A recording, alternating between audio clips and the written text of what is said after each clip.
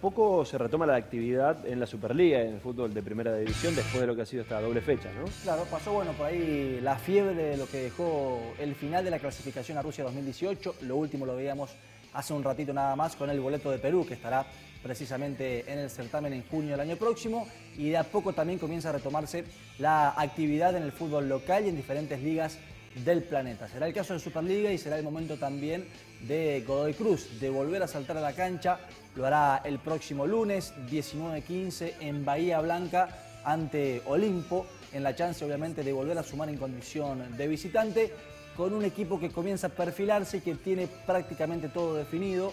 Lo único será eh, la duda o quién va a reemplazar a Leonel Galeano, el marcador central, ex hombre independiente de Avellaneda, que tiene una lesión en su rodilla. Bueno, por él va a ingresar Tomás Cardona, el ex hombre de San Lorenzo y Defensa y Justicia, que tendrá la oportunidad de mostrarse. No ha tenido muchos minutos desde que llegó a Godoy Cruz y será momento entonces de hacer dupla zaguero con Viera. El resto prácticamente será lo que viene mostrando Godoy Cruz, con Burián en el arco, con Baez, lo que decíamos, Cardona y Viera, y Fabricio Angileri en el lateral por izquierda. En la mitad de la cancha aparecerá Paul Fernández, Enríquez, Gastón Jiménez y Luis Rodríguez.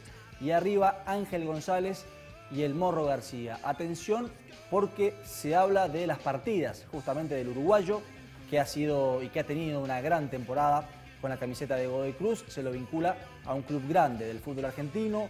Se habla también de un rumor de Gastón Jiménez que puede emigrar al fútbol de México y también de algún interés de Ángel González, por ahí los jugadores que tuvieron mejor rendimiento en el último tiempo y que también tuvieron destacada actuación en Copa Libertadores de América. Bueno, en ese marco se encuentra el final del año del Tomba, que ya sin Copa Argentina y obviamente sin Libertadores pone la mira en lo que le quedará este par de partidos de la Superliga. En lo que sería definitivamente un nuevo capítulo de grandes negocios de José Mansur, ¿no? Uno más, de los reiterados que tiene un gran dirigente al margen de, las, de los cuestionamientos, de los manejos, que por ahí denuncian muchos. Godoy Cruz hoy es un club modelo, saneado, que tiene eh, un predio realmente importante, de lo mejor a nivel nacional, que tiene a su equipo eh, salvado y muy cómodo con el tema del descenso, que ha jugado copas internacionales. Bueno, en esto eh, por ahí se le critica el tema del gambarte, algo que hoy está muy lejos de concretar Godoy Cruz, pero realmente lo que ha hecho José Mansur a cargo de la entidad bodeguera ha sido importante y obviamente se ve